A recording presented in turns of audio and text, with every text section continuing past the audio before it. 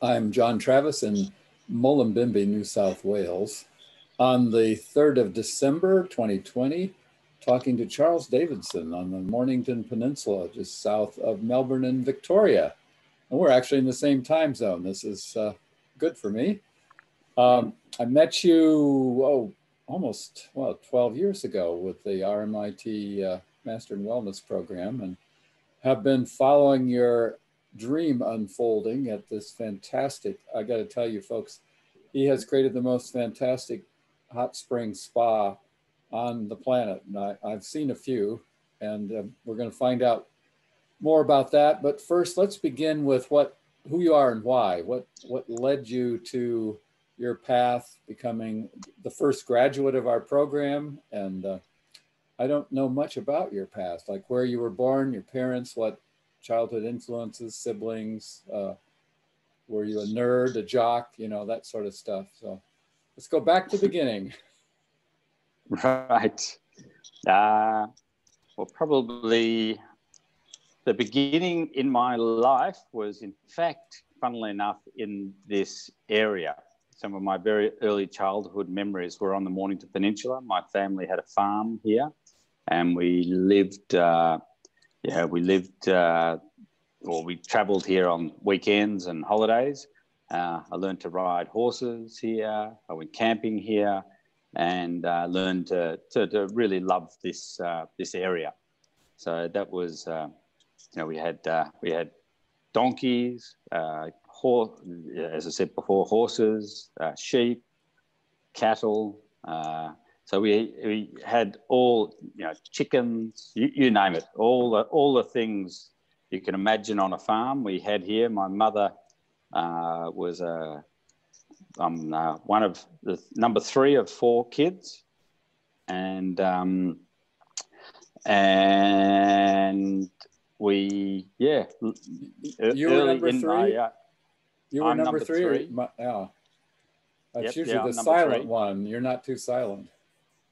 No, no, my wife's number three as well, funnily enough. So, uh, Interesting. You know, uh, that, uh, and I had an older sister, an older brother, and a younger sister. So it's two and 2 mm-hmm. which in fact, uh, I've got four children myself, um, and I've got two older sons and two younger daughters who range between the ages of 23 and 17.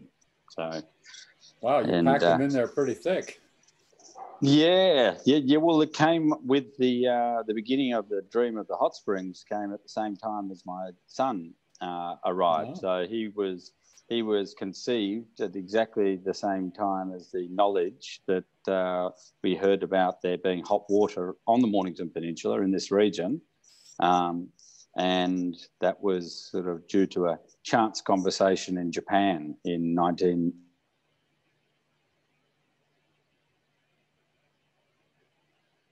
I've lost your audio. Lost audio. You were in Japan and you heard about this in the Mornington Peninsula. Yes. Yep. I uh, I was speaking to a person in Japan who I used to work at the Australian Embassy in Tokyo for for a, a short time, and uh, for a few years. And when I was there one day in early 1997. I was having a, a beer after work with the head of the Victorian State Office, our Australian Victorian State Office in, um, in Tokyo. And he said, You're a bit too entrepreneurial to be a, a diplomat all your life. So, uh, what do you, what's your dream? What would you like to do? And I said, well, I'd love to, I'd love to do hot springs because uh, five years before in Japan, I was uh, uh, visiting, I was actually studying in Japan and working for another company. And somebody took me to a hot spring, and I had a, an epiphany moment when I hopped in the hot waters and and uh, had this dream with me. But then, you know, that that started. But uh, yeah, then when I had this conversation, and I said I'd love to do hot springs. He his reply was, "I think there's hot springs on the Mornington Peninsula." So, so for me, where you know my whole childhood had been brought up on the Mornington Peninsula, for somebody to say that, it was sort of like, wow, you know, it was the beginning of what has really become a continuum of uh, sort of synchronicity moments, uh, times when it looks like uh, your your life is uh, laid out before you and it's already preordained just about. Um, you know, my family has been on the Mornington Peninsula in this region since the 1840s. Wow. And um, so they were, yeah, here from really early days and uh, the seventh generation in Australia.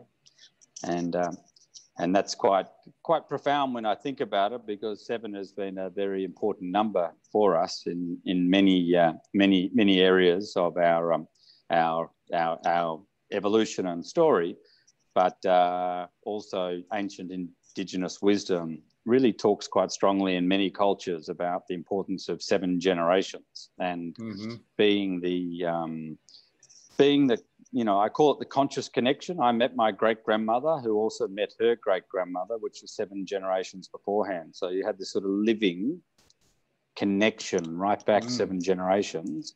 Wow. And um, they they say that that's how far you have to think to care for your future and reflect on your past in terms of uh, not making the mistakes and not making you know community mistakes and lifestyle mistakes that could affect seven generations ahead so this is the sort of line of yeah. thinking that you when and um, you know we follow i really do follow that through here in, in our um, our philosophies of a, as a business and our um, how we um, how we approach our connections to, to the environment, our connections to culture, our connections to community.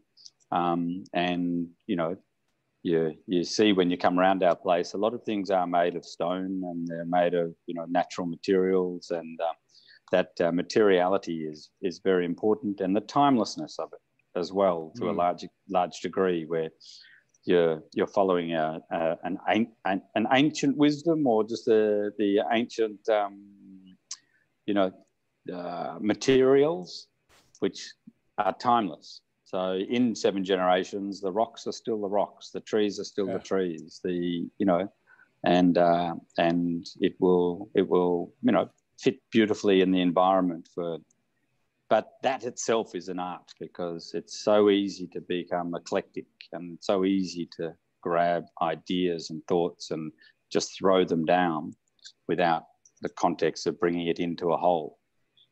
Uh, that's that's uh, very profound, and of course, the water will still be the water.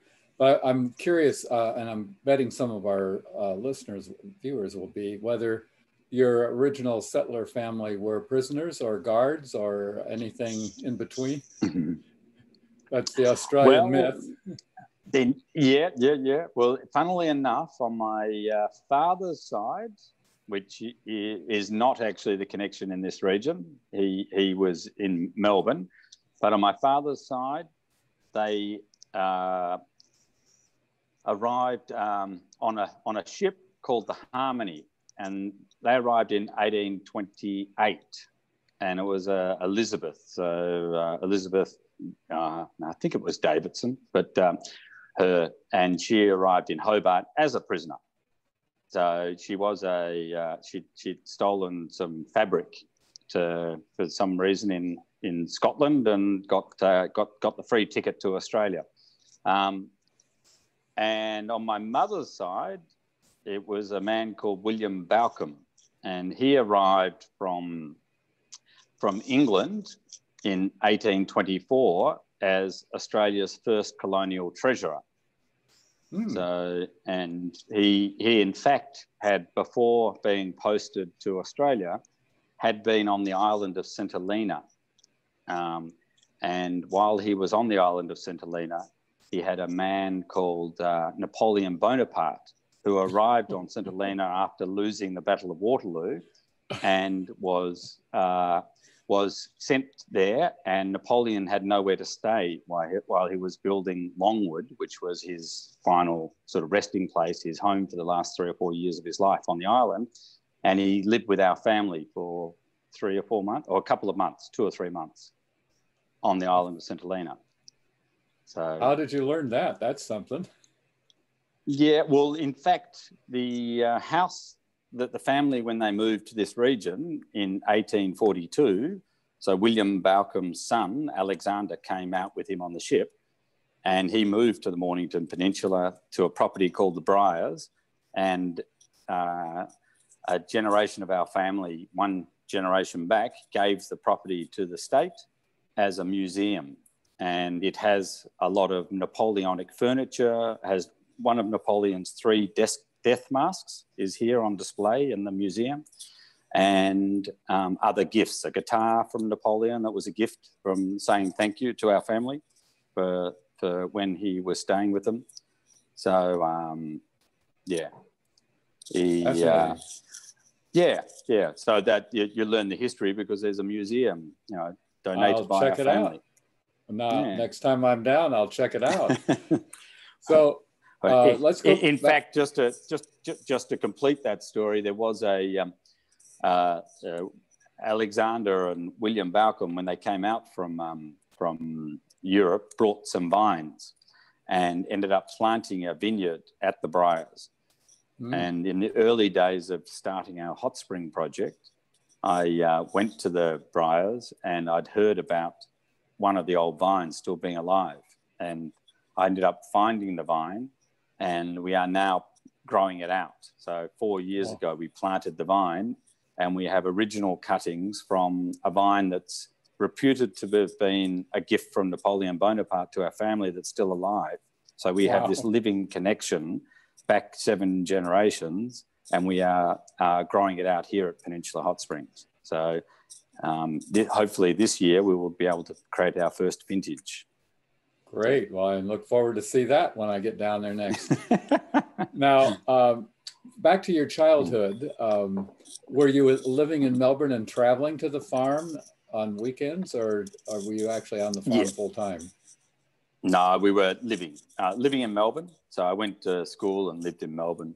I uh, went to the same school right throughout my my schooling life. So I went to a school called Melbourne Grammar, um, and which is sort of what we call a private school. In in England, they call it public school. Public but, school, Uh, yeah. it's yeah, but it's a school you have to pay a lot of money to go to. So we were, um, you know, my my family was, uh, you know, medium wealthy. You know, like they they, they weren't, you know like like super high class, but beautiful. You know, we had a nice house and we had a went to a very good school and we had a farm and and uh, you know I was fortunate enough to be able to travel when I was quite young. So my first trip overseas was at the age of five to uh, Bali in uh, Oh, in about 1970. So that was uh, at a time when, as a five-year-old, the people in Bali had not, and in some of the towns in in the middle of Bali, had not seen white children with blonde hair, uh-huh. and uh, and they come up and touch your skin and touch your hair, and they couldn't believe it. You know, like it was, uh, you know. So it was A uh, quite a, quite quite quite an experience. You know, Bali is obviously very very very different nowadays, but Yeah. uh, but Where- that what time, suburb? What, suburb of Melbourne were you in? Uh, I was in a suburb called Toorak, Okay, yes, so, which is uh, it's sort of a, a, a leafy suburb, um, you know, like fairly central. Um, but uh, my father had been there when he was a boy, and we actually ended up moving into um, his childhood house um, when I was about 14, I think, 14 or 15. Oh.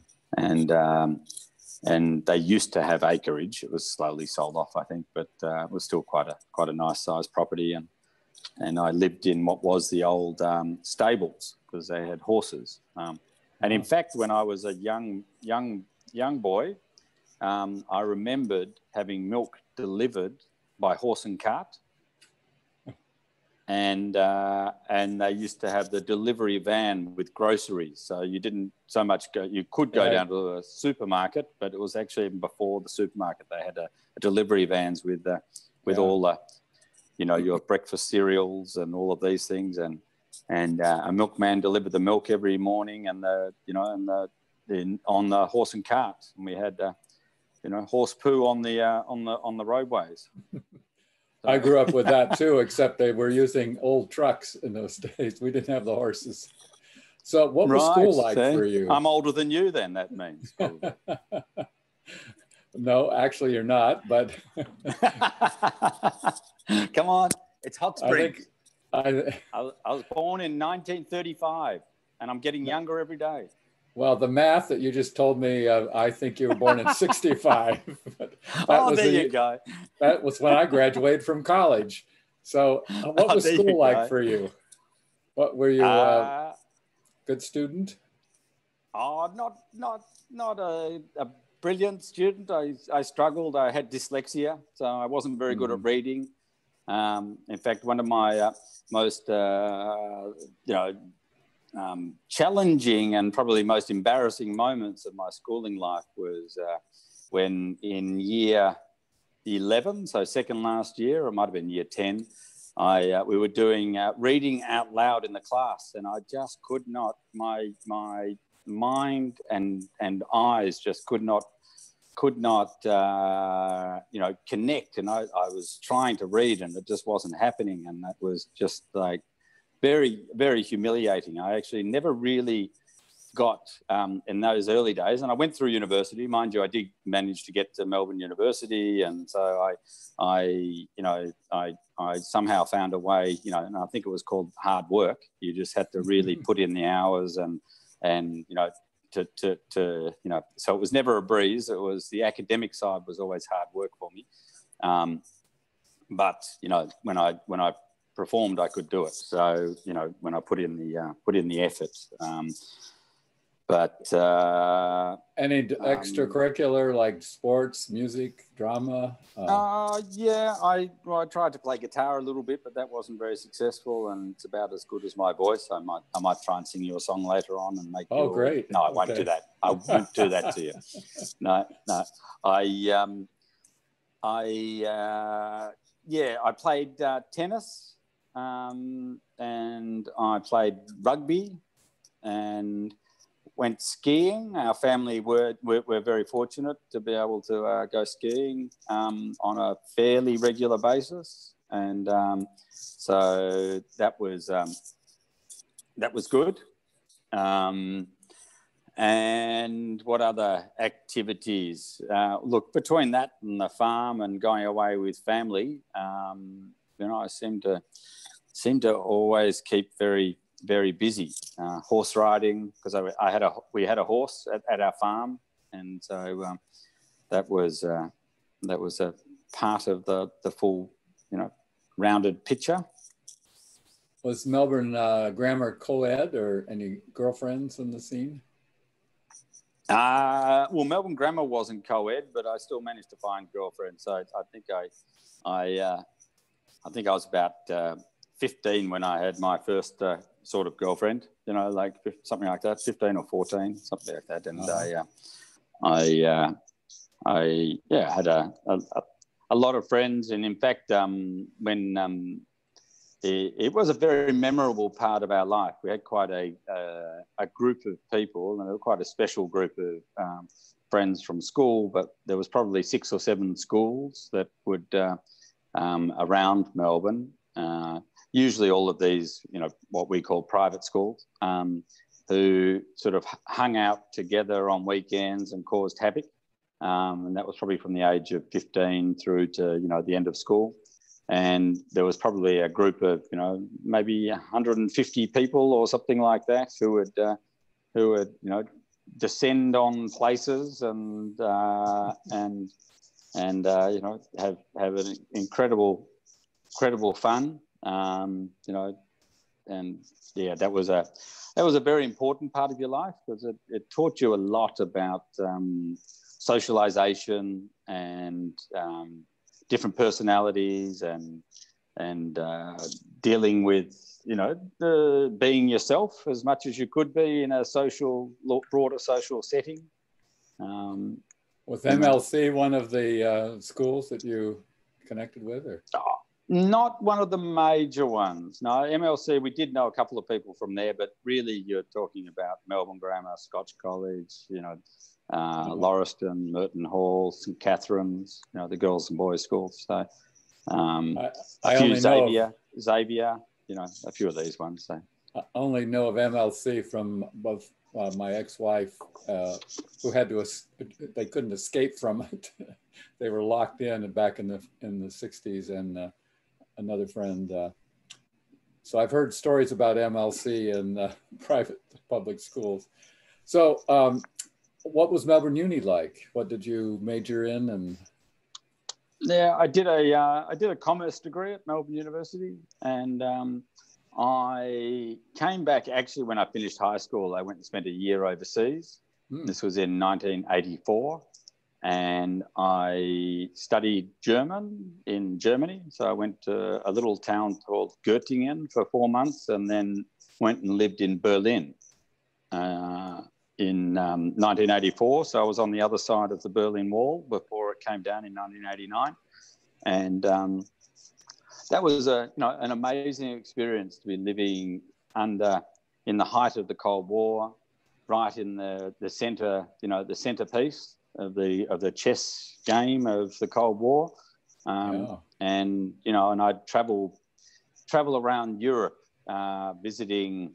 Um, visiting, you know, East East Germany and then Czechoslovakia and Yugoslavia and all, all of the uh, you know the, the countries uh, around that area, Poland, um, and you know it was a it was quite an amazing time of um, reflection on you know, humanity and the way that we we are and doctrines and and ideas of freedom and oppression. Um, I stayed with a family in the Czech Republic one time. and we were in their house, and uh, but it was in an apartment block, and we were talking, and they had to go, shh, keep your voice down because our neighbours will hear us, and we might be, you know, the KGB and our secret police might find out, and then we can get in some very serious trouble. So, what were you talking about? you must have been talking well, about freedom. Yeah, yeah, yeah, yeah. No, because mm-hmm. right at that time, it was it was the build up for um, breaking away from mm-hmm. you know breaking away from the Russian state and the oppression that had happened and and the talk was everywhere you know like uh, that that uh, you know it, it was it was on the on the move um, mm. in fact it was funnily enough I went to uh, just a few years ago about five years ago I went to Iran and we're traveling with a friend in Iran, somebody who I'd met who was actually a student studying uh, spas and spa culture, and I got there to study hot springs, and um, and I went and visited to visit hot springs around Iran, and uh, the conversations we were having uh, in Iran were very reminiscent to the conversations mm. I was having in Eastern Europe which yeah. was about you know the oppression and the need to break away and the fact that the you know there's there's the power of a gun and these people in Iran the normal people in Iran and and and and in you know Eastern Europe were smart enough to know that just you know uh, just protesting can lead to death so mm-hmm. you you you know if somebody's got a big gun then you you you are oppressed and uh, and you you accept it. You know, one of my friends was uh, in Iran was uh, in fact uh, beaten because she was wearing jeans. You know, like mm. by their secret police equivalent. So they're they're, they're religious police, and mm. um, and you know it's it's very easy, and you hear it in the mass media of um, stereotyping all the people in a country and you you learn from those travels and having been yeah. to those countries at those times that that that is one of the most dangerous things you can do is to put people into boxes and um, blaming the people not the regime and um, and then you know having you know silly talk about throwing big bombs at the communities to wipe them all out or those type of ideas are just um, you know quite uh, quite sad because they're not based on, yeah. on, any understanding of the reality in the real world. Um, you know, it's it's uh, so anyway. That was an amazing experience at that time. I came back from traveling. I actually spent another two months traveling around uh, United States as well at the end, and uh, had a uh, was very fortunate that it was towards the end of an airline called the Republic Airlines and uh, they were selling in Europe passes one month open travel passes like you'd have for a bus company, like Grey, oh. Greyhound would have, mm-hmm. but they were mm-hmm. doing it for flights. And you could just jump on any flight that you did. And I bought two of those at 300 US dollars a, a, a pass for a month of open travel. You know, based on, you know, you, you had to have seat availability. And um, I flew from one end of the United States to the other, back and forward, every, all around the United States for two months, um, mm.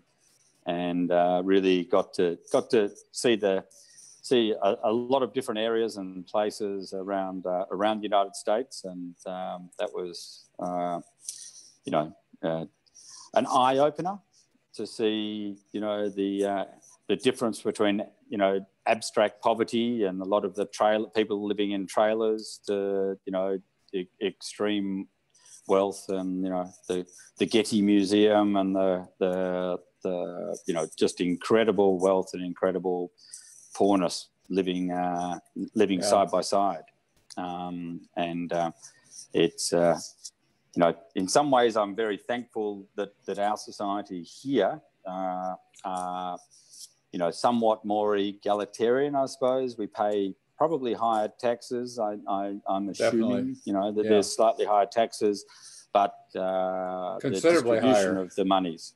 Yes. Yeah. And the, but the distribution of the um, of the money is such that there's a safety net and people have a basic standard of living, and that that even the very poor people here, you know, there, there's always exceptions, but usually the very poor people here are um, you know, they get healthcare, they get stand, you know, the, the, the standard of living, the base standard is um, is actually a, quite a lot, uh, quite a lot better, I would think, than than what I was seeing back then, you know, in the United I know, States. So. Uh, and, and it's gotten much worse, but I, I live in the Bay Area when I'm in the States, and the hmm. homeless mm. encampments under the freeways in Berkeley and Oakland and everywhere. Uh, it's just incredible, and I don't see any of that in Australia. It's it's dramatically mm-hmm. different. Plus, the infrastructure. This is one of the first things I noticed when I came here is that the infrastructure is so much better. The roads are better, the bridges are better, the uh, bike lanes, uh, the bike paths, uh, things that uh, it's, it's amazing that where the money is spent and. Mm I'm not even sure if the Australians appreciate how, how much better it is. anyway, uh, uh, you got your degree in commerce. Hmm. I did, uh, and I so I went. I went after that year of travel. I went and did a did three years at Melbourne University, and I, you know, it was fun, but it was never. You know, I didn't really feel like I started living until I, uh, you know, until after university. Um, I I didn't know what I was wanting to do until the final year of university. I, I had no idea. You know, I, I, I uh, wasn't following the standard paths. Um, you know, you were getting opportunities to work for some of the big companies and work. You know, there was you know, because it was quite a good university. Um, it, it you had had opportunities to do all sorts of things, but it wasn't until my final year of university that I did a, a subject called Asian Traditions and Economic Modernization. And mm. it taught me all about uh, Japanese trading companies. And um, funnily enough, uh, William Balcombe, who I was talking about before, my ancestor who came from, uh, who used to work for the British East India Company at St. Helena, and that's where you know, Napoleon came and stayed with them they were in trading business. So, but I, I actually didn't know that at the point at university, but I, I liked the idea of uh, international connection and these Japanese trading companies, uh, which I learnt about at this course. Um, they were, you know, bigger than 50% of the world's countries in GDP, their turnover of the, the one business.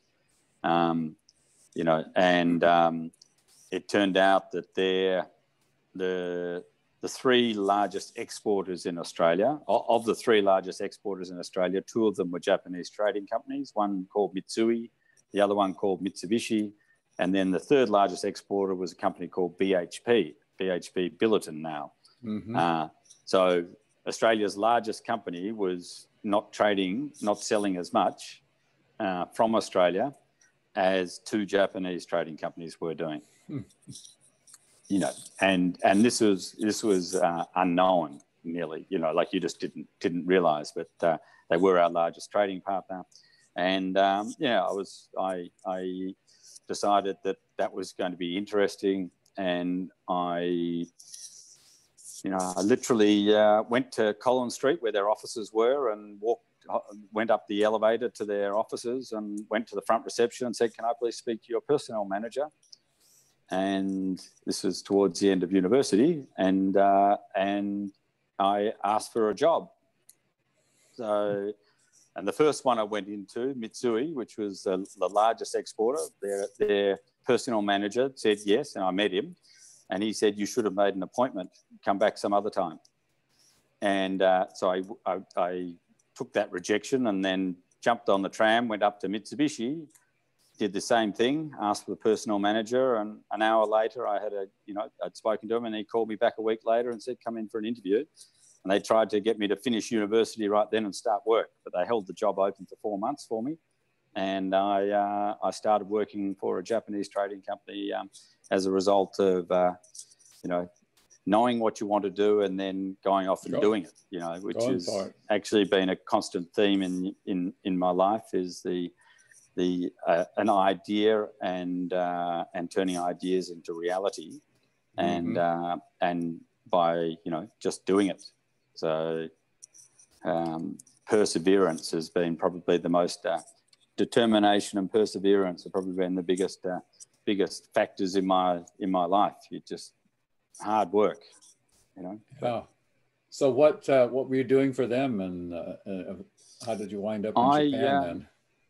Yeah, yeah. Well, I, I was working as a uh, a trader in food products. So I used to help Japanese companies um, source fine products. So we'd usually get inquiries coming from companies in Japan who might need, you know, asparagus, or they might want um, wines or various cheeses or uh, some wheats and grains.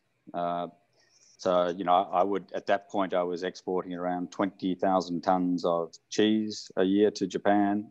Um, we were exporting milk powders and other dairy products. Um, and um, yeah, and then a lot of, you know, there was some fish. So we did fresh salmon from Tasmania.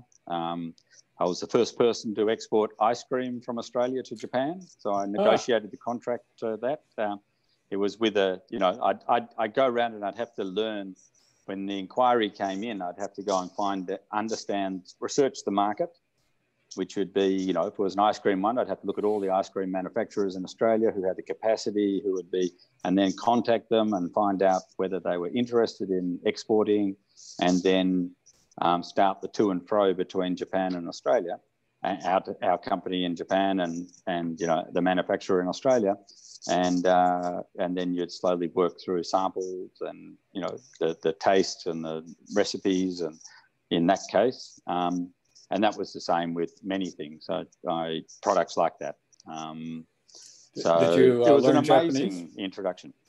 Uh, not in Australia. I started learning it a little bit in Australia and I that I realized that if I just stayed with the company as a local employee, I had no career. You know, it was interesting. It was great learning. It was great. Uh, you know, it, it, was incredible. I mean, I was straight out of university and I was dealing with export managers and owners of companies. Um, you know, big Australian manufacturing companies and I here I am, you know, I'm 21 years old, and I'm you know dealing directly with people who are senior managers in their organisations and uh, or owners of their organisation. So it was an incredible uh, to be able to rub shoulders with uh, entrepreneurs and and and you know international business people um, at the highest level straight away out of university. So um, that was that was very good. Now, what was your question? You just asked another uh, one. Uh, whether you learned Japanese. It sounds like you oh, went yes. to Japan. Yeah. I, uh, I, I ended up, um, I, I ended up realizing that it was going to be hard to, you know, hit that glass ceiling as a local employee. And I learnt about a, um, a, a, fellowship. I read about it in a paper about the Asia Pacific Fellowship, which was a state federal government fellowship to try and help executives of you know the right companies get to go to Japan or to Asia. You know, so a country in Asia, and uh, they, uh, I so I got our um, our general manager of our branch, the Melbourne branch, to support an application for us to get a, a fellowship. And um, it basically paid for my year in Japan. Um, and the company, he, he, he arranged for the company to support it. And then I ended up going to Japan and working in our food department um, in Tokyo. So I went to the Tokyo head office on an Asia Pacific fellowship, and um, and part of it was learning Japanese. So I had to spend six months in language school. So it was a combination of language school in the morning and then work in the afternoon. And, and I did that for six months and then worked. And then they extended my stay in Japan by another period. Um, so I ended up having 18 months in Japan. But, um, and learnt Japanese while I was there. Um, it was quite a challenge because working for Mitsubishi in, uh, in their head office in Tokyo, you were um, they'd never had in the you know since 1868 or whatever it was in Tokyo when Mitsubishi was formed. Um, they'd never had a foreign person working in their mm. head office in the food department. They had in some other departments, but they'd never had that in the food department. So it was uh, uh, a cultural uh, challenge for a number of the Japanese because you know it was it was you know sort of uh, pushing the bounds of what is normal um, so some people gave me a hard time, and and you know, but, but look, amazing experience to be able mm. to be working at at at the top level. Mind you, Mitsubishi uh, had been at that point, and I think it has continued, been the number one dr- draft choice, you know, number one choice of graduates from universities in Japan for 20 years. Mm. So Mitsubishi Corporation, so the company I work for, and uh, interestingly, they said Mitsubishi, which means three diamonds. So that's the shape of the Mitsubishi of the cars oh, and all of those things. That. It's ah. Mitsu is three and Bishi is a diamond. And they say this group, this big group, the Mitsubishi group, the three diamonds of the group are the Mitsubishi Heavy Industries, which is the muscle, Mitsubishi Bank, which is the, the money, and then Mitsubishi Corporation is the brains. Mm. And so between those three, between the muscle, the brains, and the money, you have a lot of strength. So that was how that's how the Mitsubishi guys, the Mitsubishi Corporation guys, like to think about it anyway, because they you know they like to think of themselves at the top. You know, so anyway. Fascinating. Yeah. Yeah, yeah, no, it, it, I, have been eternally grateful for Mitsubishi for opening up my, you know, bringing, uh, uh enabling me to do something uh, new, you know, that, that hadn't been done before in that organisation, and then to having the opportunity to, you know, visit a hot spring, and um, and you know, the rest of it, life is. Uh, is is what's happened. You know, it was an epiphany moment jumping in that water. Um, yeah, it was incredible. So that was uh, fairly soon out of school then when that happened, right? Uh, well, I was at Mitsubishi for in Melbourne for about five years, four years, five, four, five years nearly before I. So I, I finished university in uh, 19. What was that? 19. Uh, 1987, I think it was. Yeah, four, five, six, seven. Yeah, 1987 and then I made it to Japan in 1992. Mm-hmm. So, so you 1992. The, so yes, yeah. You had the epiphany, and then uh, what?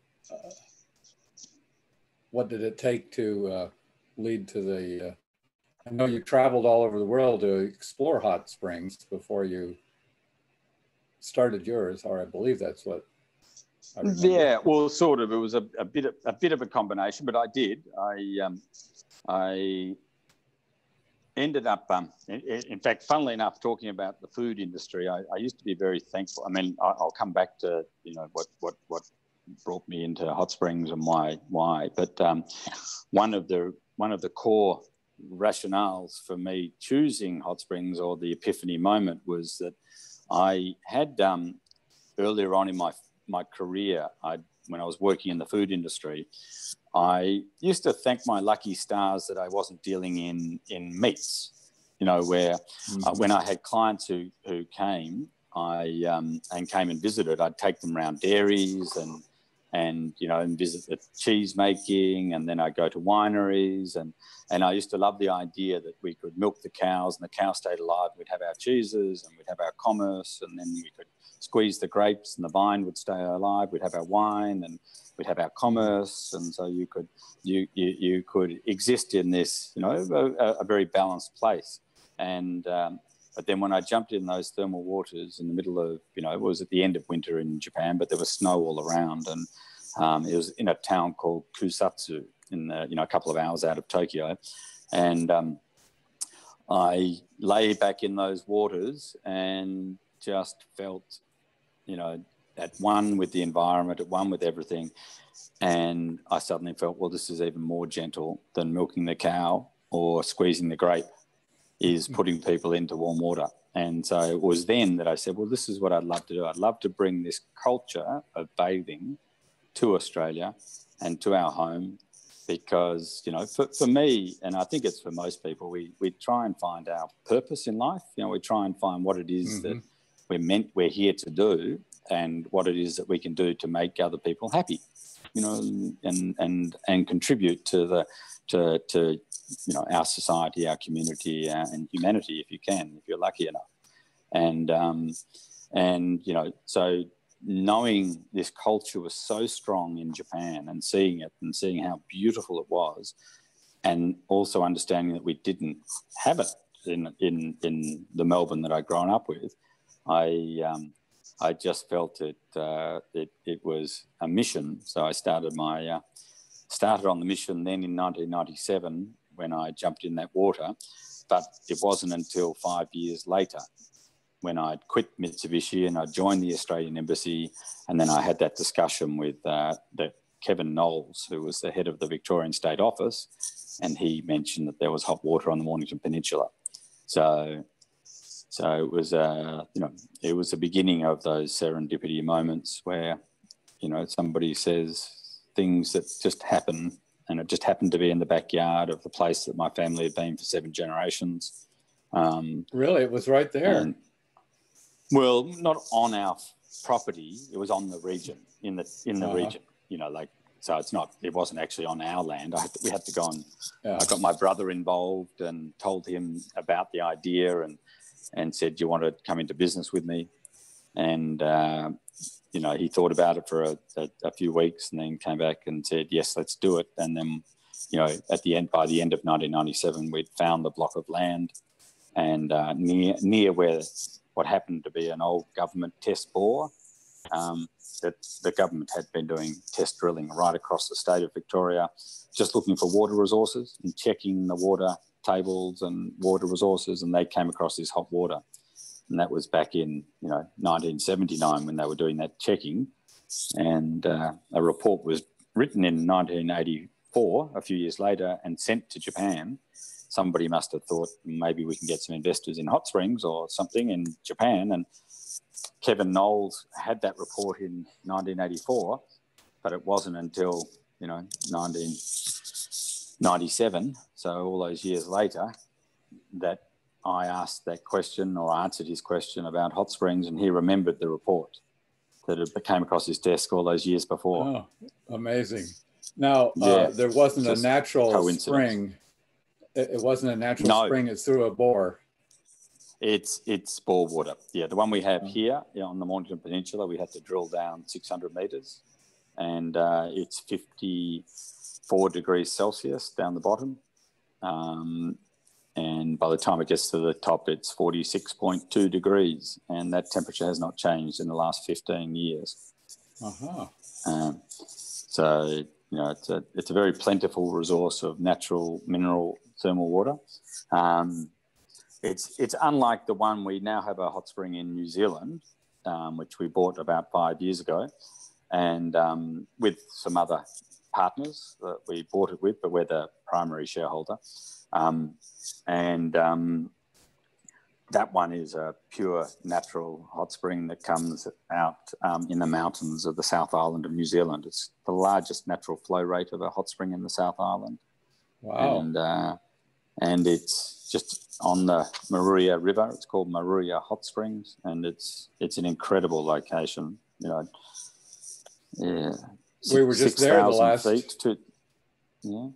We yes. just said the last two years. I would have known, uh, like to have known about it. What what part uh, in relation to uh, the glaciers is it? Uh, on, on uh, well, it's a bit up from the glaciers. It's uh, if you, you from Christchurch, if you go inland and then you go to Hanmer Springs, and then you go on the Lewis Pass. So you can go on the Lewis Pass over over the mm-hmm. mountain ranges and it's right in the middle of the mountain range. So it sits in the middle of a, you know, two two hundred thousand hectare national park, and it's uh, wow. one little a little, uh, you know, what would it be, uh, one point five or two hectare, you know, five acre, six acre block of uh, land, private land in the middle of a national park with mm. a hot hmm. spring.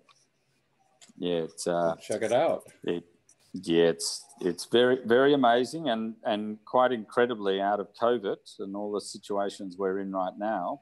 Um, you know, New Zealand did a very hard lockdown and then sort of effectively eradicated COVID from the country, and um, and that that business, uh, while it was closed for six weeks, it did a huge amount of work and renovation then they reopened and now they're trading at somewhere between 70 and 80% up from the same time last year. Mm.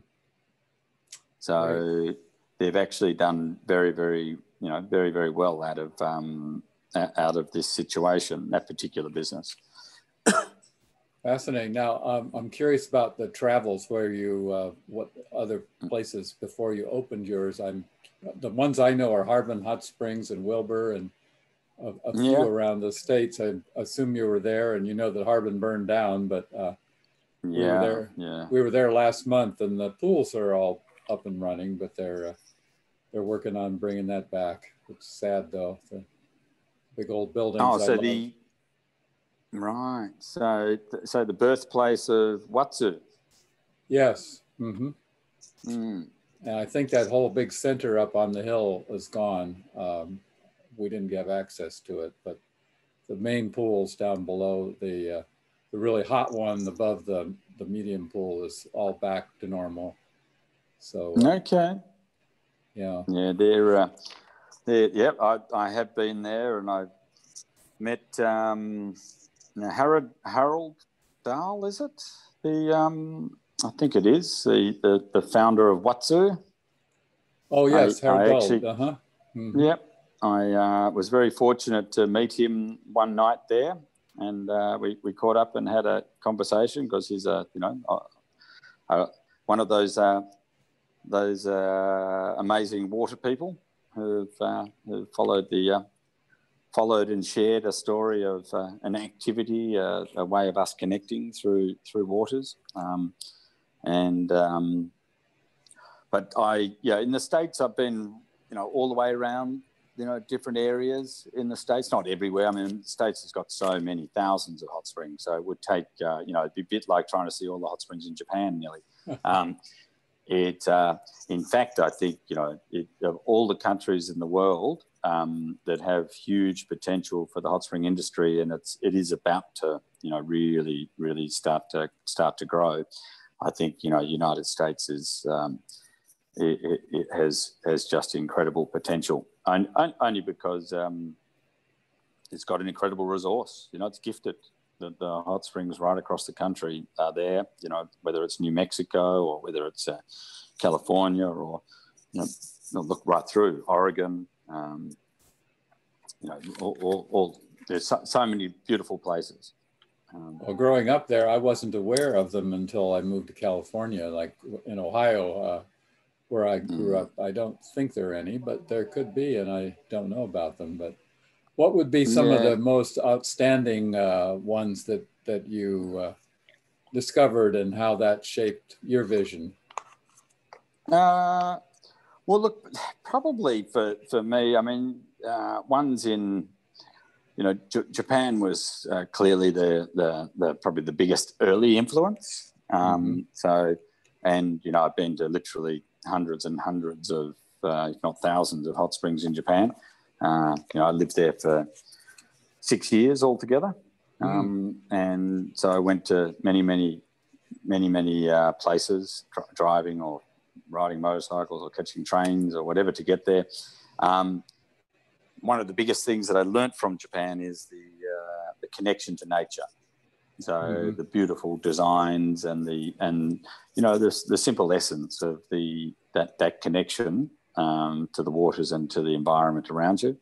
Um, but the other ones of big influence, um, I went to Yemen very early on, 1998. I did a trip where I went to Russia, did a spa course in the Czech Republic in the Karlovy Vary and Mariánské So just a couple of, um, of, of, fairly famous spa towns. Uh, and uh, Karlovy Vary is Carlsbad is the other, other name for it. Um, and um, and I, I yeah, did a, a, a, very influential spa course there. And then I hopped on an aeroplane and went to Yemen. Um, and in uh, Yemen, I, I made a choice to go to Yemen because I had a, a, theory, and this is in the, the look for trying to understand and build a hot spring culture in Australia, which was the, the goal. I had a theory that um, hot springs as a, a nature's gift um, was something that had nothing to do with the money economy, particularly, and that any country that had hot springs would have a culture around it. So you didn't mm. necessarily have to be rich or poor. You didn't have to be any certain, you know, it wasn't actually an economic driven thing. It was a nature's driven thing, and it was because it felt good. Um, and so that was a theory that I had when I was in Japan. And to test the theory, I, I uh, picked up The Economist magazine in Tokyo and chose the poorest country in the world, which was at that point Yemen, and had a GDP per capita, and this was in 1998, of uh, 320 US dollars per capita per annum. Um, mm. So less than they were living on less than a dollar a day, and um, I uh, went went to you know, and it just happened that Yemen, mind you, there was nothing, there was nothing called Google, there was no, uh, there was no Facebook, and there was no, you know, there was an internet, but really everything was fax back at that time, and it was just by fortune and and and uh, and luck that uh, Yemen had one consul in all of the southern, well, the, all of the Asia Pacific region, and uh, that was in Tokyo. So I could go to the consul and then find out about travel in Yemen. And um, I found a travel company and they gave, and I um, organized a hot spring tour of Yemen, something they'd never been asked for before. Mm. And I, uh, but when I was there, I traveled around and did visit uh, Damt, which is one of the old hot spring towns. And um, that town was actually a healing town where they'd have people would stay for a week or two and be taking the waters every day. Mm. And uh, they'd have certain times for women and certain times for men in these natural springs.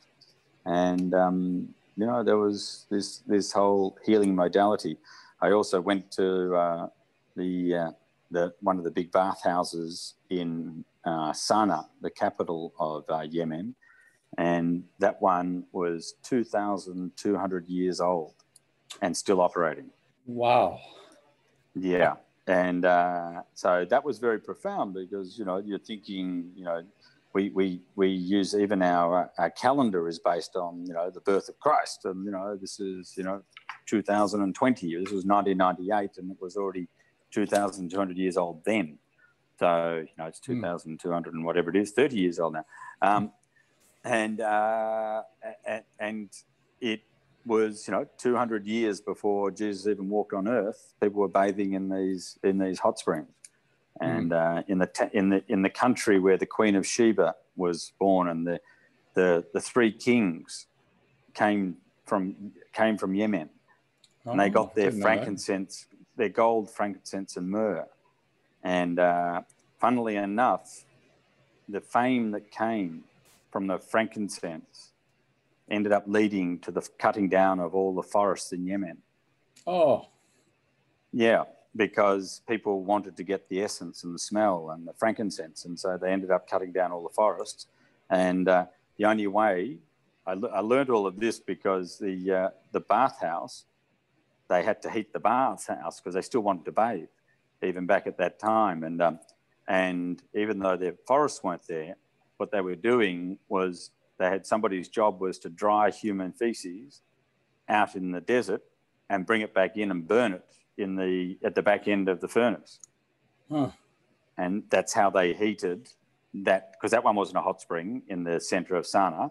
There were hot springs in other parts, but that one was a bathhouse, but it was heated by by uh, by human feces. It not now. Now they've moved to gas, I think it was, or something like that. But but uh, but in, traditionally, when they uh, finished cutting down all the forests because everybody uh, venerated the uh, and and and sought sought after all the things that the, the king the king was given as gifts. Uh, that uh, the king, being you know Jesus, uh, was given as gifts. He uh, ended up destroying the very environment from which it was coming.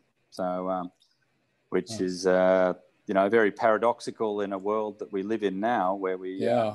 are chasing ourselves to oblivion. They're saying, you know. Yes so um, you, let's let's go to uh, your actually early days of starting. When did you uh, break ground? And uh, I know when I first mm. saw it ten or twelve years ago, it was we, we met in uh, our we had a staff meeting at a tent up uh, up the hill, and there were a few buildings, mm. but it was uh, how did it grow and uh, one, one, uh, one, one bath at a time, I think you'd say. we, uh, we, we drilled in uh, what we, we finally got the water out because there was a whole drama and story around, you know, it took us eight years from when we bought the property to, to being able to start a business. So we bought mm. the property in 1997 and then we opened in 2005. Um, and um, you know, there was all, it seemed like a long time. Now, it, it, it you know, with knowledge and time, you, you, you realize that a lot of these things do take many, many years to, to, to, to gestate and to find their, find their, their, uh, their future. Um, but um, we, you know, developed this master plan by traveling around the world. And that was the idea of going to Yemen and Russia and and Japan, and I flew to America and went to all these, you know, Canada and um, all these different countries because we wanted to incorporate in our design, um, our master plan design, and um, something that would uh, bring back essences from all the different cultures or many different cultures around around the world, and uh, weave it into the nature that's here, but using um, what knowledge we could gain um, and gather from you know the ancient cultures of the world, um, and um, and that's pretty much what we've done. So we've built uh, um, built you know facilities. We started off with what what uh, you know while we had the master plan, which is 126 rooms of accommodation, and it's got a wellness center, and it's got you know all um, you know function centers and and many different pools and a spa center and various food outlets and so forth. Um, while we had that at the beginning, we had a big dream, but we didn't have a big wallet. So we started off with the smallest thing that we could possibly build, um, that we considered we could possibly build and be economically viable. And that way, the, the logic of that was to, um, to be able to, you know, own a good enough share of it ourselves um, and yet have a business that, that works. So um, and so we built what we now call today the Spa Dreaming Centre. It had you know 10 pools. There was uh, three indoor and two outdoor private pools and five outdoor private pools, a sauna, a uh, you know, and a little cafe and uh, how many was it? Four or five, five massage rooms. Um, so that was the, the complete thing. And really, from for, to start with, from cost around three and a half million dollars, I think, back then to to build it. Um, and um, and you know, from day one, um, we were we were being um, you know uh, well frequented. So you know, it was it was actually cash flow positive from the very beginning. Mm. You know, so that was very thankful. Um, I think our story, we had spent a lot of time, you know, over those eight years, you know, it, it had become a, a, a, a quite a, quite a story of these crazy lunatic boys trying to do a, you know, do something, do, do, do, a, you know, people thought you were just a bit, a bit silly. They, they didn't, you know, they, they really uh, doubted, doubted the whole thing. And many people did that, which, you know, happens and, you know, ha- happens quite often in life. But, uh, like anybody who starts something new, you know, you um, you you you've just got to keep plugging away, and you've got to yeah. believe in your dream. And and because I knew it and I'd seen it in other countries around the world, and I and I was learning more and more about the culture, I uh, of bathing, and I could see how profoundly important it was for um, the communities in which it, it, they were located as as places of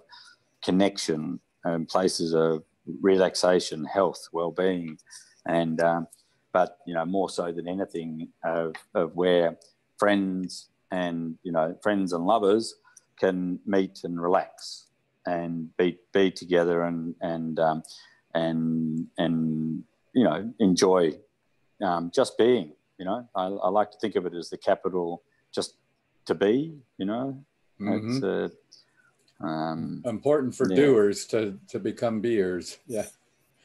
So. Yeah.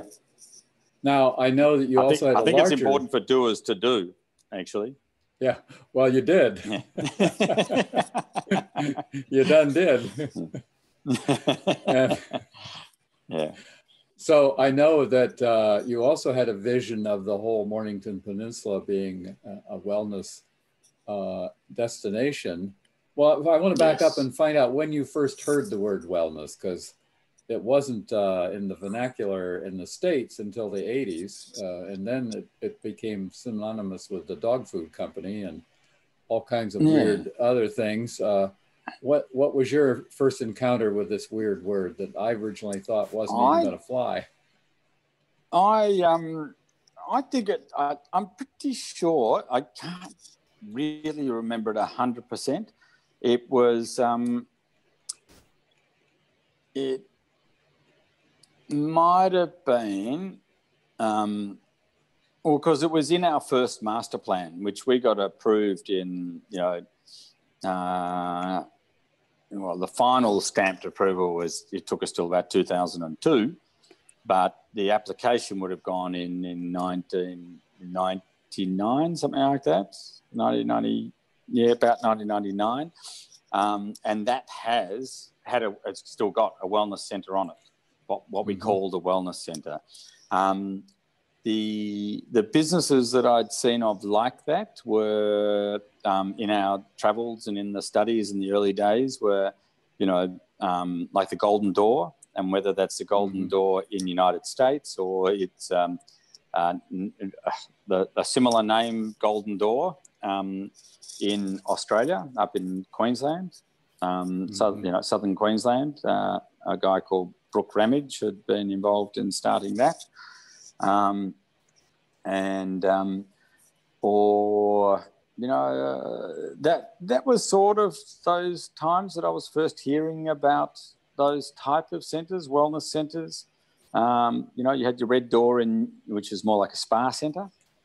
Um, and yeah, so it was way back, uh, yeah, 19, late 1990s um, mm-hmm. is when I would have, um, you know, really started to put that into the mix of what we wanted to incorporate at at the Springs. Um, I, um, yeah, yeah. So we're, and, and look, we do see ourselves very much as a wellness uh, destination, a wellness uh, provider. Um, even though a lot of it is um, very passive. And I think uh, the energetical difference between um, you know, the activities is very important, and I think that's one of the most important parts of the uh, initial triage that we have with guests. And this was we've only just started accommodation two days ago on, on Tuesday. Oh. It's Thursday wow. now, so it's uh, two days ago we started our first accommodation, just ten rooms.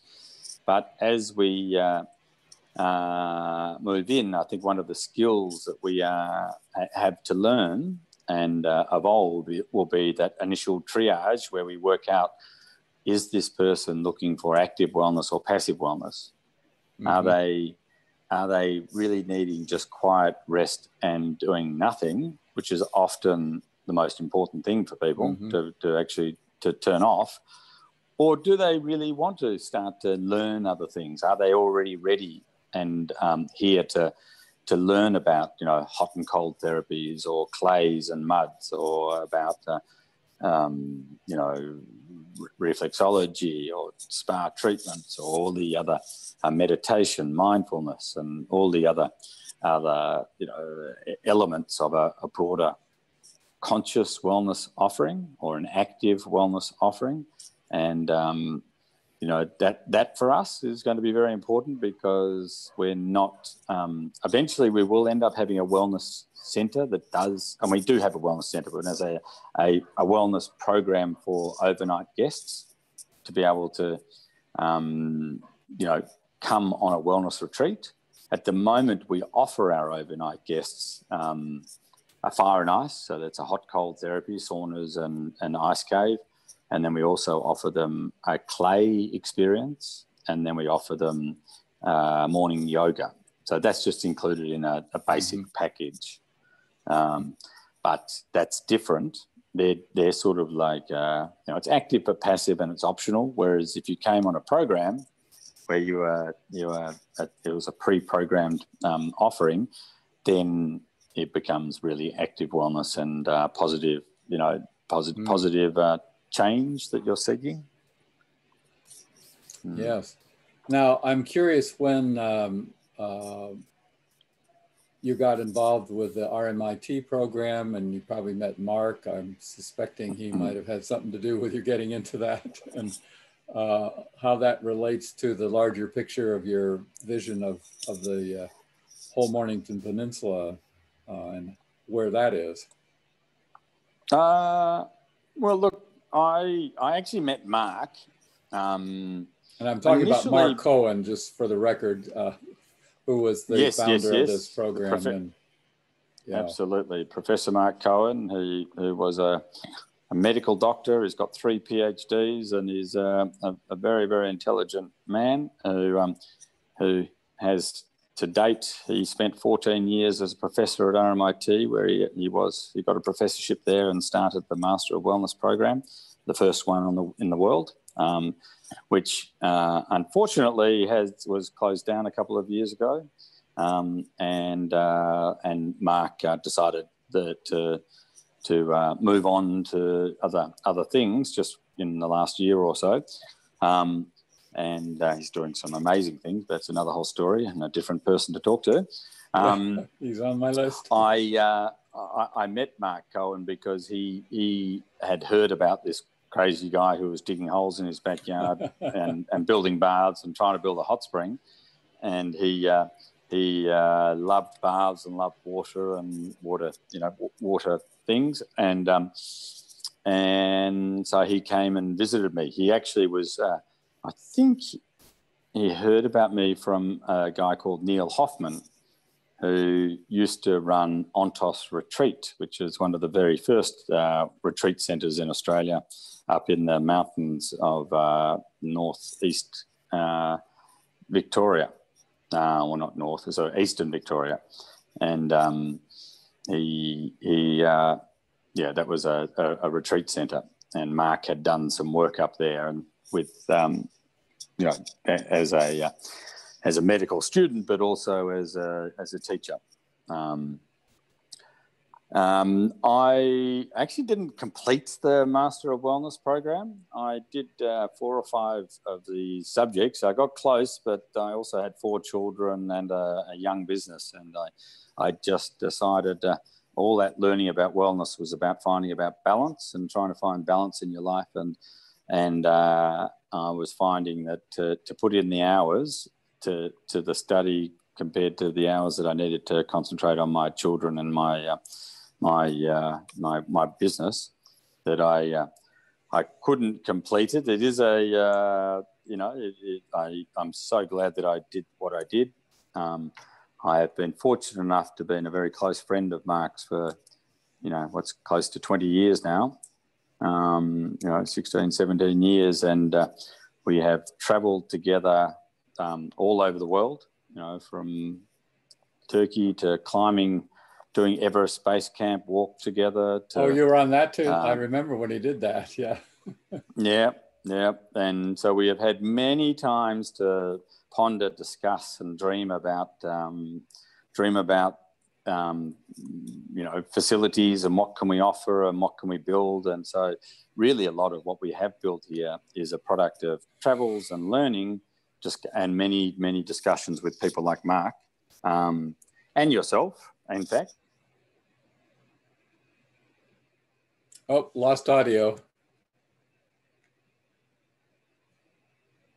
yeah, so my um, those discussions and all the things we've been building and the relationships with people like yourself and Mark Cohen have been very much a uh, an, a, a, very important influence um, and uh, on on you know what we build, how we how we evolve, and and you know and how we thoughtfully connect uh, with a, a, purpose for our business and our purpose, you know, within the community for the business. And um, and I I think you know it's something um, continually connecting with the um, thoughtfulness and the mind um, and study is something that we've always done. And you know, right now we are sponsoring two PhDs at um, one at uh, Victoria University and one at RMIT in the hot spring industry to help you know evolve knowledge and understanding um, of of the hot spring industry, and mm. um, and you know and I can I, I, I think that will continue on as long as you know as long as I'm involved here, I will be certainly promoting and encouraging a um, this uh, thoughtful connection about you know, um, learning. You know, that learning is an important part of mm-hmm. growth and, and health and well-being. You know, so. Now, uh, I remember when you had a vision to draw in various uh, uh, local businesses, and um, I'm wondering if you encountered resistance. Did people get wellness? I mean, I had to struggle a lot even to get people to spell the word right.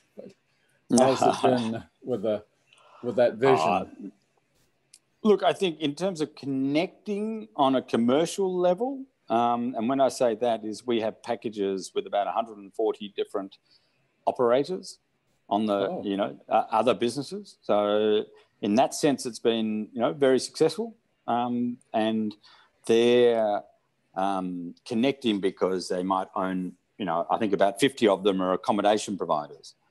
Mm. And you've got people who are doing, you know, golf courses or horse riding or uh, dolphin swimming or all these different activities. And we do a, you know, a dine and bay, the swim and bay, the stay and bay, uh, all these different packages we have with other businesses, which link back this wellness activity often with other activities, which are quite, you know, wellness activities. It's sort of being out and into life and engaging with, you know, being active um, mm-hmm. and you know movement uh, and and healthy healthy living, healthy eating is a very very important part of wellness and doing it in a mm-hmm. nice environment. So doing it in you know where we are now, which is not in a polluted city. It's in the in the countryside and near the ocean.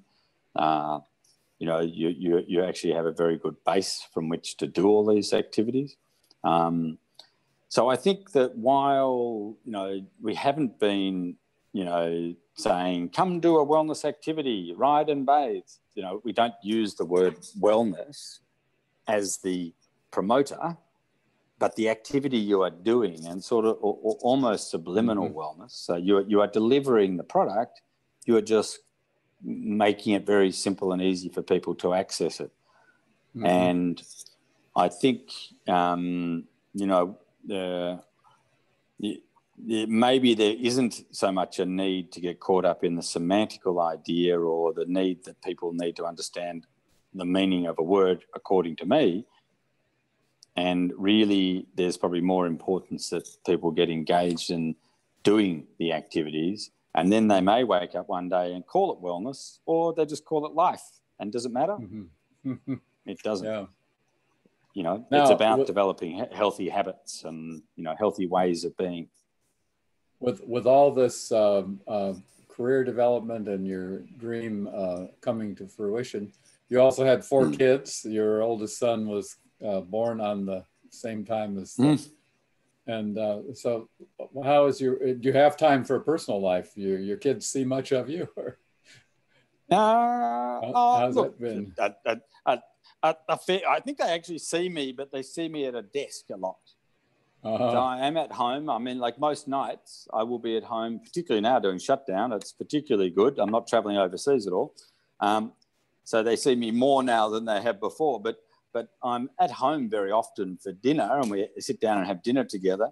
Um, but, you know, often before dinner, I'm, you know, a, a, a, arriving from work and then we have dinner together. And then after dinner, I, uh, you know, we wash the, wash the dishes and then, you know, very often we go back, they go back to their studies and I go back to my study and we, you know, get back into the other extracurricular activities we have. Um, we have connected a lot on travel. So it's something that we have managed to be able to do. And I think that's probably the, the real strength of our family and how we are able, uh, it's been, um, it's good. And I see it with my kids. I, I think I'm fortunate. I got two older boys and two younger girls because really we had a house full of, um, of, of uh, you know, um, teenagers, all, all uh, sexually maturing at the same time. So there was a lot of uh, hormones running around our house at a certain stage then. But um, but uh, but what it also meant is that, that that they all could relate to each other quite well. And having older boys and younger girls, it wasn't like often when you have a much older girl and then you have younger kid boys, the boys are really immature and the girls too old. Yeah, so yeah. You never have that that sort of friendship connection. You'll have the brotherly connection, but not also the friendship connection. But I think my kids have all got a, a friendship connection. We've also been able to achieve that through a lot of travel. So we have, uh, you know, done many trips around Australia together, whether it's you know driving from Darwin back to Melbourne or traveling around um, the outback and you know on road trips and this and you know on um, you know all, all, all, all sorts of trips around Australia. We've travelled um, to Japan many times together. We lived in Japan in 2013, so I took a gap year with uh, my wife and and um, and all the four kids, and they all went to school in Japan, and wow. we had a whole year there. So we uh, wow. we lived in Niseko for, um, and I mean Hakuba, not Niseko. When I talk about Hakuba, which is um, in Nagano, and that was a, a, ski town where they had the Winter Olympics there some time ago, and um, we lived there for one ski season, and then moved to Tokyo for the rest of the year and um, yeah, the kids all went to local schools. Um, so that was uh, you know an amazing life experience. How did they um, manage that? Going to a local school, did they have have any Japanese before then, or they just got thrown in the? Well, it was a bit of a, a, bit of both. They had some Japanese before. We'd taken all the kids before then had had spent some periods of time in Japan um, oh. at school. They'd also, every Saturday morning, my wife mainly, Yuki mainly, and myself sometimes would take them to Japanese Saturday school for language school, for which was you know a school designed for expat Japanese families living in in in Australia, but trying to keep the kids up to date with their language. So when they went back to Japan, that they could uh, they could somehow you know keep going.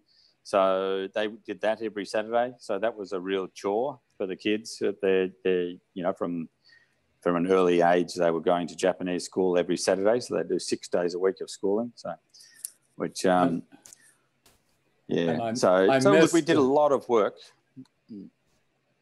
I, I, I, missed an important piece in your unfolding of when you met your wife, mm. and I've just figured out from her name that she's probably Japanese. So I'm guessing yeah. let's go back and fill in that gap that I, I missed. Okay. Well, that one was uh, uh, Yuki. So her name is Y U K I, Yuki, which means noble freedom in Japanese. And uh, she, uh, we met each other at work. So she worked at the Australian Embassy in Tokyo, um, mm-hmm. basically doing the same job as I was doing. And I was actually employed at the Australian Embassy as a local employee, um, but I was on a diplomatic visa. So mm um, it was a, a, bit of a loophole. It was actually very interesting because they, they say in life there are two things that, uh, that you get you, that, that, are certainties, and that's death and taxes. And I had uh, three and a half years when I worked at the embassy because they, they uh, gave me a job as a local employee that I applied for, even though I was an Australian citizen. So they had to give me a diplomatic visa, but I was a local employee. And the, uh, the Australian Tax Office can't tax local employees, and the Japanese Tax Office can't can't tax people on diplomatic visas. And so I wrote to both of them, and they both wrote back and said, "Well, well done, you found the loop." so I, I, was legally not paying taxes. You know, I didn't have to pay any tax. So, uh, and I hope and you were paid well. Uh, I, I, was paid quite well, yeah, yeah, yeah, yeah. But, but basically, the money I saved from that bought the hot springs, bought the property where the hot yeah. springs is built.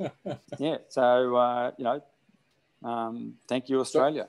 And, how did you meet? So you were working side um, by side. Uh, we were working side by side. Yeah, yeah. I, I, and, I, I, I, came into the office and you know said hello, and um, you know it wasn't uh, love at first sight like that, but basically, you know, but we, yeah, you got on well as colleagues, and um, it it really uh, where where we our relationship blossomed was when we managed to go on a a, a skiing trip together, and um, we were at a um, um, uh, at, at a ski field, Nozawa Onsen, and it was yeah we were skiing together and she was a great skier. And i love skiing. So she uh, you know she was really good going through the bumps and and i could see this spirit in her that uh, this spirit and determination and this you know this this, this real fight. And um, and i you know i'd had another japanese girlfriend before her um, not at that time. I was single at that time, but um, I had a, a Japanese girlfriend uh, the, the, before we got together. And um, I ended up breaking up with that girlfriend because I didn't think, um, you know, that she would have the strength to deal with me because I knew yeah. that, you know, I'm a, I'm a bit hard to handle. I'm not hard to handle in a bad way, but hard to handle in that I'm, you know, I work very hard and I, yeah. I you know, focus on my job and yeah, that kind of thing. And so when Yuki was, you know, skiing and she was keeping up with me on the bumps, and you know, we were going hard, and she was there, you know, you know, turn for turn, she was there with me, and uh, and that really, uh, you know, it really made me think, wow, now that's the kind of spirit, you know, that kind of grit is uh, sort of what I'm going to need to have a, in, a partner in my life who can put mm-hmm. up with me and put up with, you know, the stories that I'm going to try and create in my life and you know, um, and uh, so that was you know that that was it. And then we, and I think it was actually a similar thing for her for me because I, I, I ran a um, a division at the at the embassy, which was doing a um, I was a project manager basically for Foodex, which was a food exhibition for Australian exporters trying to get into the Japanese market. And um, it was the largest Australian exhibition, for, you know, foreign exhibition uh, in. Oh, lost you. so we had about 100 exhibitors, something like that, food exhibitors from Australia trying to get into the Japanese market. And I had to work super, super hard at, at, at putting on this exhibition. Um, and I did it for a couple of years. And Yuki saw how I worked. And I think she was impressed the same way. She thought, wow, if you can work like that. Well matched. This, this guy.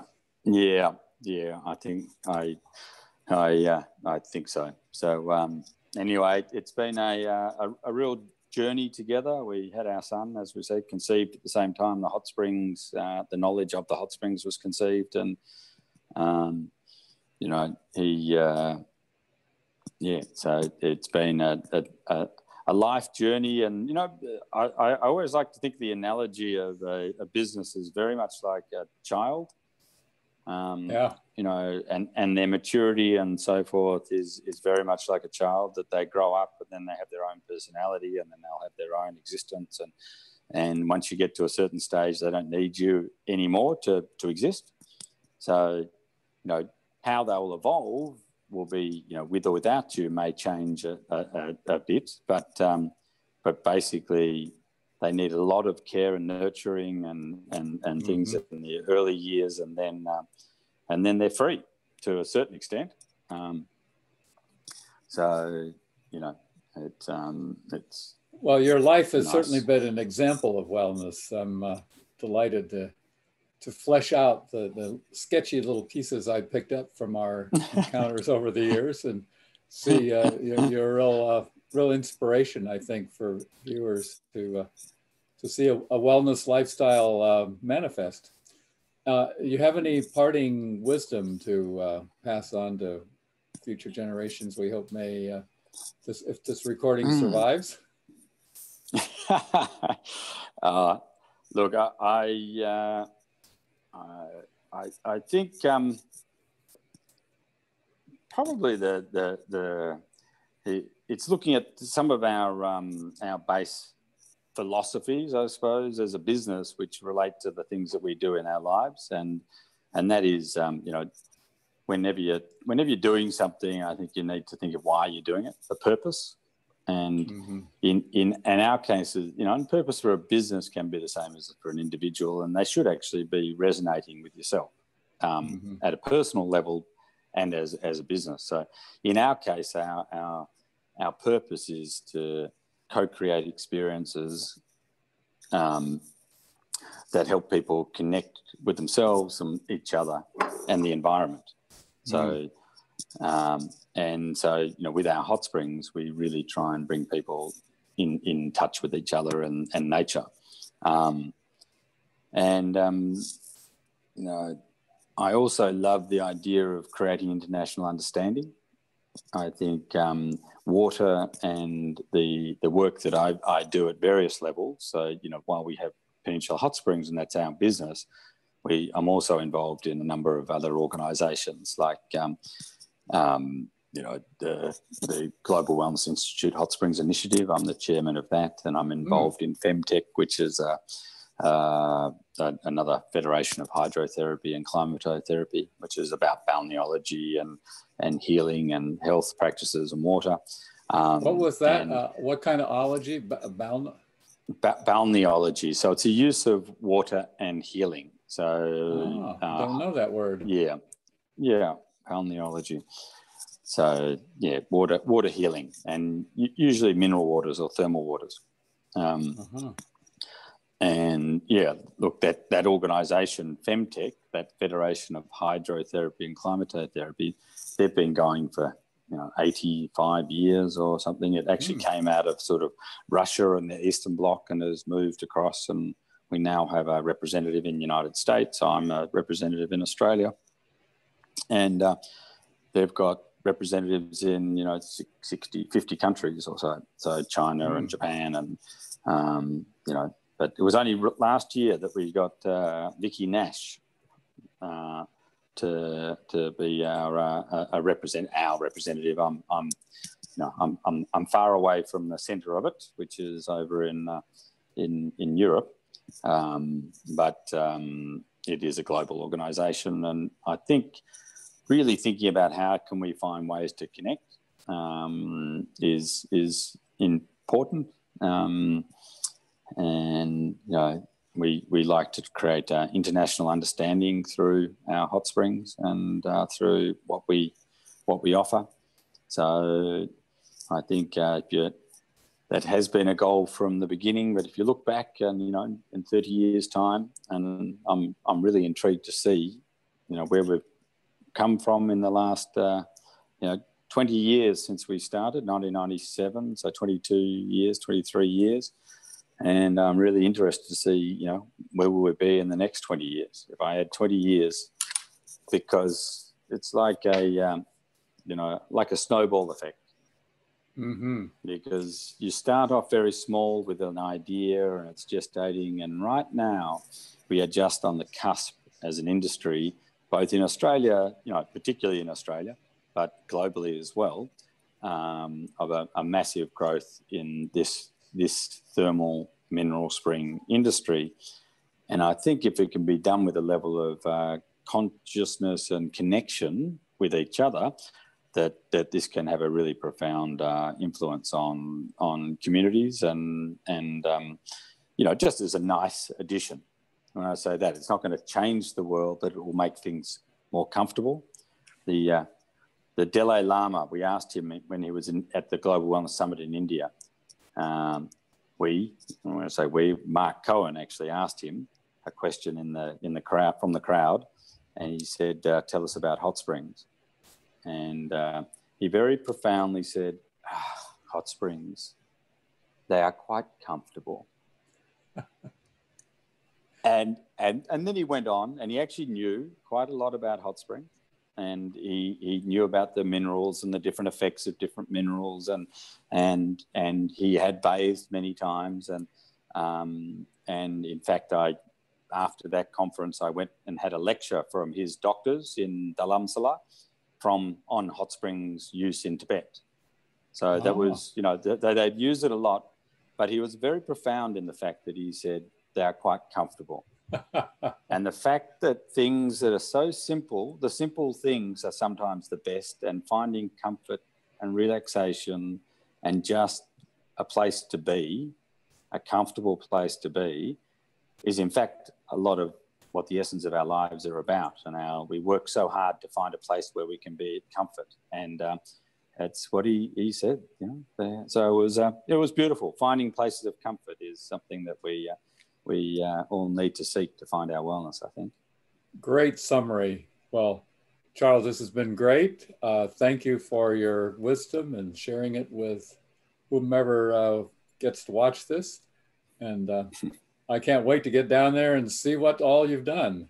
So I'm going to end the recording now and thank you again. Uh,